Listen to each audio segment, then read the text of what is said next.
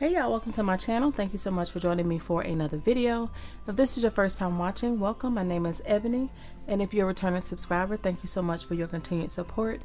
In today's video, I wanted to share some Christmas crafting all year projects. I'm doing um, videos on the 25th of every month, no particular time, no particular projects.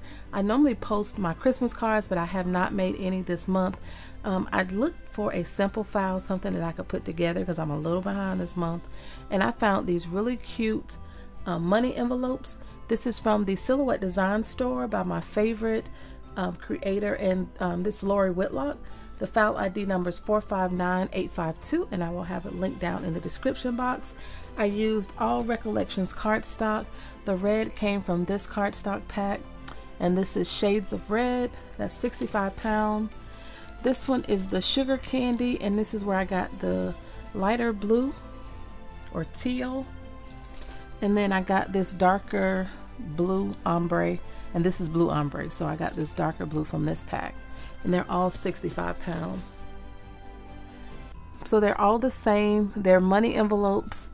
Um, they have the little tuck closure on the back. I had these flowers in my stash. They were gifted to me. I just added those to the side. The file actually comes with a little snowman that you put together, but um, I didn't want to do that. It was a lot of pieces and the face didn't cut out too good. So I just went ahead and added a flower on the side trying to use stuff in my stash. So I only did four. I love how they turned out.